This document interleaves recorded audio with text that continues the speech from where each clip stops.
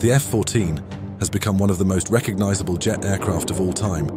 Featuring in many films, games and so forth, the Tomcat is certainly a familiar sight, and many are aware of its combat roles throughout the 80s and 90s, from the Libya incident in 1989 to the Gulf War. But what few are aware of is that the F-14, however briefly, had the opportunity to serve in the Vietnam War, marking its first deployment.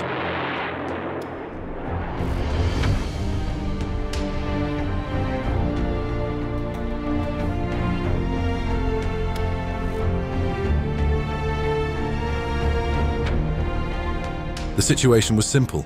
The United States had begun pulling troops out of Vietnam from 1971, effectively ending the war in any large-scale sense. However, the conflict was not over.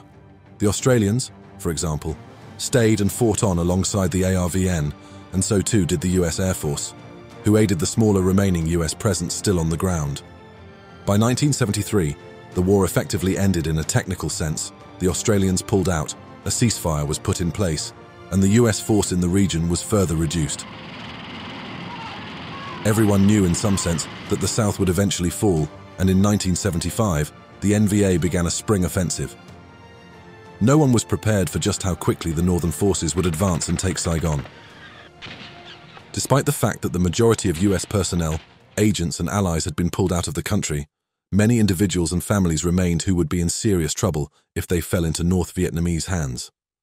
A mass evacuation began in March 1975, with aircraft taking off from Tan Son Nhat Airport. Over 50,000 people were evacuated. US C-5 Galaxies and C-141 Starlifters flew consistent flights. Australia and other allied nations were also involved. A fleet of RAAF C-130s were sent to various airstrips, in one case, at Phan Rang Air Base, rescuing 1,500 civilians in one day whilst under rocket fire. During the first two weeks of April, RAAF, US and other Allied forces were simultaneously airlifting orphaned children in what was known as Operation Babylift, while Marine helicopter crews were sent into neighbouring Cambodia, which was also collapsing, to pull out friendly personnel and civilians, known as Operation Eagle Pull. But on April 28th, strong artillery fire began to hit Tan Son Nhat Airport. Evacuations were under threat, and a new contingency plan was put into action known as Operation Frequent Wind. Rather than continuing the increasingly dangerous fixed-wing flights out of Vietnam, a helicopter force would be used to extract as many people as possible before northern forces entered Saigon. During this same period, the US Navy had begun receiving its first orders of F-14A Tomcats. Among the first to operate the aircraft were fighter squadrons VF-1 and VF-2. Both were then assigned to Carrier Air Wing 14, operating from the USS Enterprise. US Navy Task Force 76 had been assigned with primary duties during the evacuation of Saigon. However, many other ships were needed for various tasks. As such, ships from Task Force 77 were requested to help with air support. Among the task force were the USS Coral Sea and the Enterprise. With F-14s on board, this would mark the beginning of what could be considered the Tomcat's first wartime deployment. In the months leading up to this, F-14 pilots and radar intercept officers had been training on the new aircraft, whilst the Enterprise was momentarily undergoing refitting at port. Among the new modifications were larger, stronger jet blast deflectors specifically for the Tomcats. F-14 crews were tasked with combat air patrol over Saigon it was noted that the North had used captured A-37 Dragonflies from Da Nang Air Base to assist in the attack on Tan Son Nhat Airport, thus US helicopters were technically at risk of attack, however unlikely. An F-14 presence in the sky would mitigate any such threat. The Tomcats, according to pilot testimony, were armed with two AIM-9 Sidewinders and two or four AIM-7 Sparrows when on patrol. Their combat air patrols would include supporting any slow-flying aircraft needing escort, as well as standing ready for air support of ground troops should they come under fire. Many of the specifics surrounding the F-14's deployment during Operation Frequent Wind remain the subject of debate. There are claims that approval was given for a gun strafing run against ground targets, whilst another story claims that MiGs were picked up and tracked on radar by one of the F-14 flights. Another story also insinuates light ground fire damage being received by a Tomcat. However, most of these stories come from testimonies and are not officially verified. Some of this footage shows both the VF-1 Wolfpack and VF-2 bounty hunters on board the Enterprise in March 1975. Much of the air action occurred the next day, on April 29th, the most chaotic day of the evacuation. The day began with heavy artillery fire on the outskirts of Saigon, as NVA General Van Tien Dung began his advance into the city to defeat South Vietnamese General Nguyen Van Toan and his 60,000 ARVN troops. Other retreating ARVN soldiers began pulling back to Saigon, almost 190,000 of them. At the same time, Viet Cong were reported to be within the city limits. By 6 a.m., the situation did not look good. Two South Vietnamese A-1 Skyraiders had been sent out on patrol over Tan Son Nhat airfield and immediately came under fire, with one aircraft being shot down by an SA-7 missile.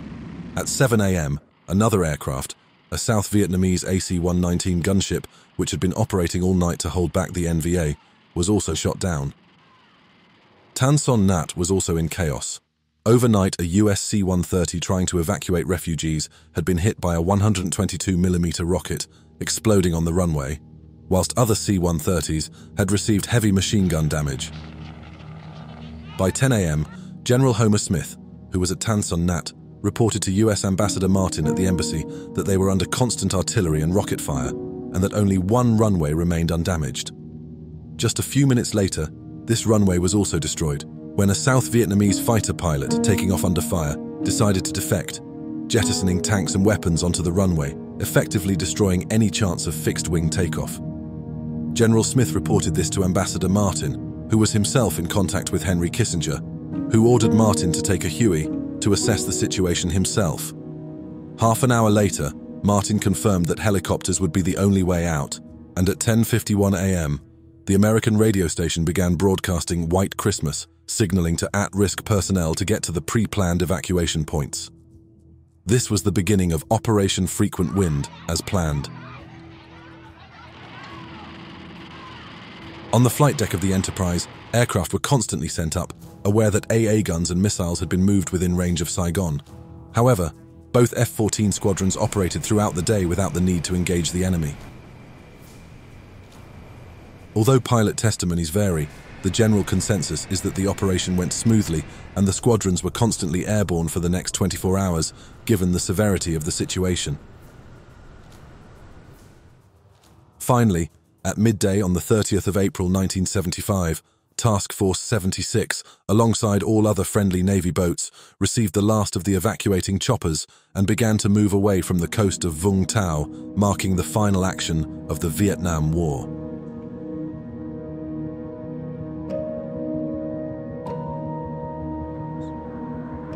These F-14s would go on to serve again the next year, performing similar combat air patrols over Lebanon in July 1976, in which Americans and other foreign nationals were evacuated from Beirut as civil war raged.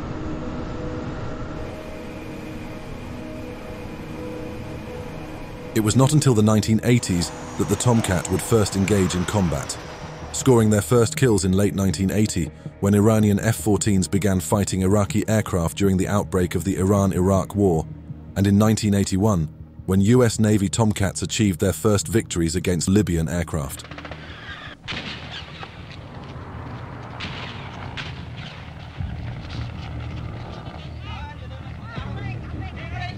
Operation Frequent Wind was considered a success, all things considered.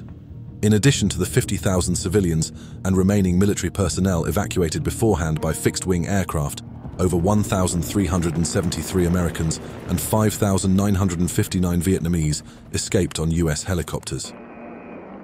A literal, all-hands-on-deck approach by US Navy personnel allowed many more South Vietnamese Army and Air Force pilots to fly friends and family onto US ships, escape from their aircraft and make room for the next one. South Vietnamese military personnel took family, friends and colleagues, loaded as many boats as they could, and sailed out to join the American fleet. By the end of the operation, over 138,000 Vietnamese had escaped from the country and were processed as refugees in America. Operation Babylift had rescued some 3,300 Vietnamese orphans, airlifting them to the west where they were adopted. Although the Tomcat did not engage the enemy in Vietnam, this operation marked the dawn of a new era of air combat, one in which faster computers, better radars, and beyond visual range combat would define air superiority.